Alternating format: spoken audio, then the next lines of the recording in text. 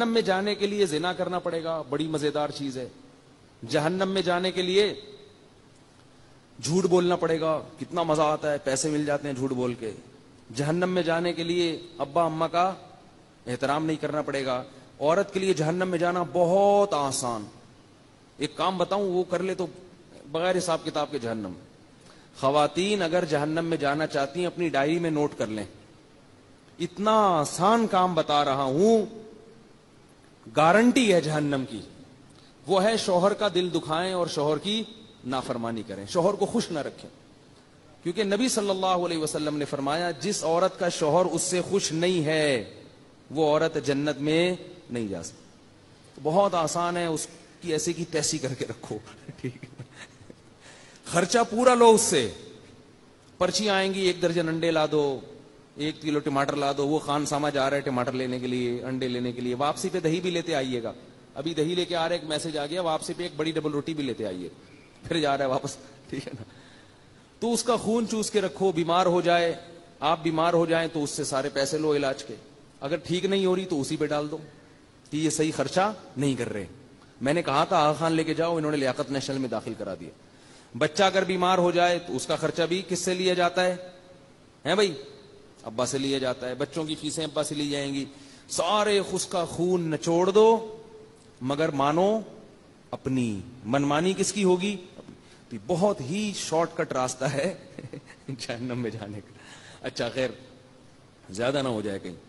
اور مرد کے لیے جہنم میں جانے کا پتہ ہے سب سے شارٹ کٹ راستہ کیا ہے؟ اس زمانے میں مردوں کے لیے ہے بد نظری بے حیائی سے نہیں بچتے آج کل۔ انٹرنیٹ پر بےحدہ چیزیں دیکھی جا رہی ہیں۔ جہاں کوئی چمکتا دھمکتا چہرہ نظر آئے گا، ایک دفعہ لازمی دیکھتے ہیں اس کو کہ یار حسرت نہ رہ جائے کہیں۔ اور پھر صحت بھی خراب ہوتی ہے، گناہوں کی طرف طبیعت بھی مائل ہوتی ہے۔ تو یہ تو اللہ نے سب سے بڑی آزمائش مرد کے لیے عورت کو بنایا ہے۔ یہ قرآن میں ہے۔ زوین للناسی حب الشہواتی من النساء۔ قرآن کے الفاظ ہیں۔ کہ ہم نے لوگوں کے لیے یعنی مردوں کے لیے جو سب سے مزین چیز بنائی ہے، وہ عورتوں کو بنایا ہے۔ سب سے مزین کا کیا مطلب ہے کہ چادر اللہ نے خوبصورت ڈالی ہوئی ہے، لیکن ہے کیا وہ؟ عذاب ہے، آگ ہے، اگر حرام طریقے سے جاؤ گے۔ اب اس کا حل اللہ نے کیا بتایا؟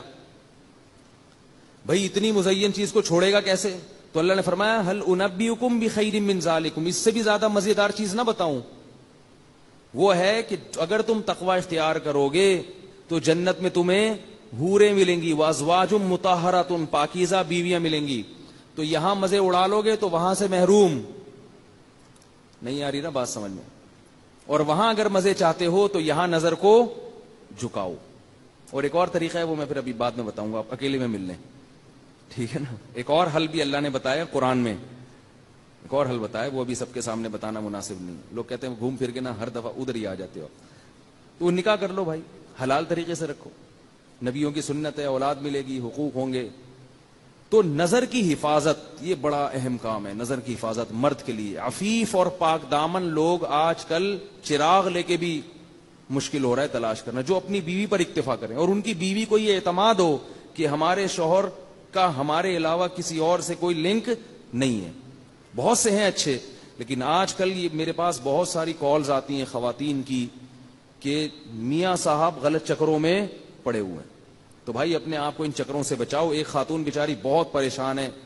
یو کے سے فون کرتی ہیں۔ زندگی رو رہی ہیں کہ میرے میاں کو لت پڑ گئی ہے لڑکیوں سے، دوستوں کی۔ میرے بچے تباہ ہو رہے ہیں، برباد ہو رہے ہیں۔ اب میں ان بیچاری کو کیا کہتا؟ ان کو میں نے کہا، صبر کرو، اس کو بڈھا ہونے دو۔ اپنے میاں کو کیا ہونے دو؟ بڈھا ہونے دو۔ ابھی جوانی کا جوش ہے نا، تھوڑے دن میں بڈھا ہوگا، پھر دیکھو کیا ہوتا اور ایسا آدمی بڈھا بھی جلدی ہوتا ہے۔ ہر طرح سے بیچاری عورت نے سمجھا لیا، بچوں کا واسطہ دے دیا کہ ان کو بھی پتا چل رہا ہے تمہاری حرکتوں کا، ان پہ کیا اثر پڑے گا۔ لیکن وہی بات ہے کہ لوت علیہ السلام کی قوم جس بدکاری میں مبتلا ہو گئی تھی لوت علیہ السلام نے سمجھایا سمجھایا سمجھایا سمجھایا۔ تو اللہ قرآن میں کیا فرماتے ہیں؟ لام رکا ان لفی سکرتی اے لو، اے اے محمد صلی اللہ علیہ وسلم، ہمیں آپ کی عمر کی قسم وہ لوگ اس وقت بڑے نشے میں پڑے ہوئے تھے۔ ان کو لوت علیہ السلام کی باتیں سمجھ میں نہیں آ رہی تھی بہت نشے میں مست تھے۔ جب گناہ انسان کے سامنے ہوتا ہے تو وہ نشے میں مست ہو جاتا ہے۔ پھر نہیں دیکھتا کہ کیا ہے۔ تو اللہ نے پھر کیسا عذاب دیا؟ فجعلنا عالیہا سافلہا فرمایا، ہم نے زمین کو اٹھا کے الٹا دے کے پٹک دیا۔ پوری قوم کو اللہ نے تباہ کر دیا۔ تو زانی کو، زانی سے اللہ کو بہت نفرت ہوتی ہے، یاد رکھو۔ ہمارے معاشرے میں زنا بہت تیزی سے پھیل رہا ہے۔ بہت تیزی سے پھیل رہا ہے۔ میرے پاس کالز آتی ہیں، ایسا ہی نہیں کہہ رہا میں۔ بہت تیزی سے۔ لوگ تو اپنے ہر چیز دل کی بات کر لیتے ہیں نا علماء کے سامنے۔ بہت تیزی سے زنا پھیل رہا ہے۔ اس کو اللہ کا واسطہ روکنے کی کوشش کرو۔ سختی کرو اپنے گھر میں چچزاد پوبیزاد بہنوں کو۔ بے پردہ نہ ہونے دو کزنوں کے سامنے۔ اگر آپ کا بیٹا چچزاد پوبیزاد بہن سے دوستی لگاتا ہے، پابندی لگاؤ اس پر۔ میرے گھر میں جب میرے چچزاد پھوپیزاد بھائی آتے تھے، میرے والد صاحب کے بھتیجے ہوتے تھے۔ تو والد صاحب ہماری بہنوں کو حکم دیتے تھے کہ ان کے سامنے نہیں آنا ہے۔ غصہ کرتے تھے کہ ایسے بے محابا کوئی نہیں آگے بیٹھے گا۔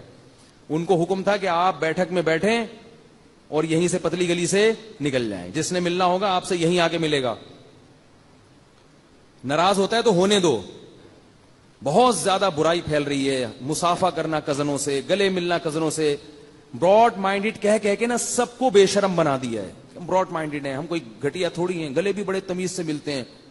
کہ ایسے جیسے بالکل کوئی احساس ہی نہیں ہو رہا ہمیں۔